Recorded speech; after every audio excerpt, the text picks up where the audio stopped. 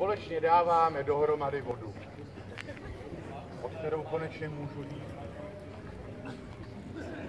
Ona je jediná, která se mě umí dotknout a mě to nevadí. Dokonce se mi to líbí. A taky se mi líbí, když se můžu dotýkat já jí.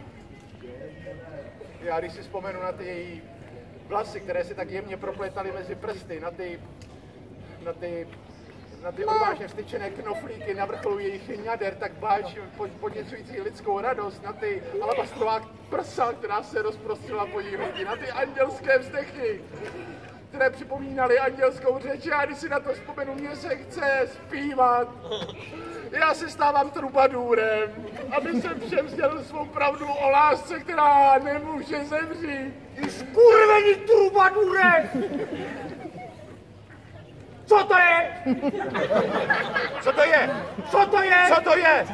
Co to je? Co to je? Co to je? Ty směšníci! Ne, promiň, dobrý, pojď, ne, já se pojď, ne, pojď, na klidu, ne, já nedělám žádné problémy.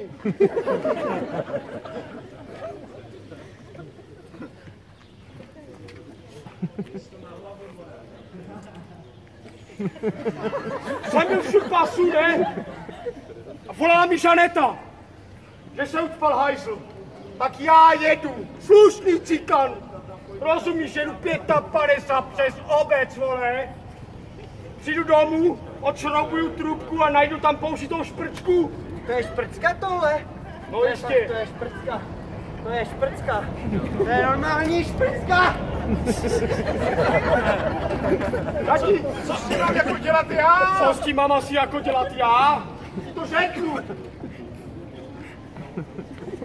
Co s tím máš co dělat? Ne, Žaneta se mi přiznala,